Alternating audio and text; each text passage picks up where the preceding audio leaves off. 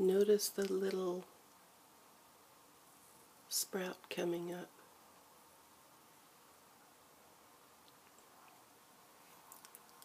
Doing well.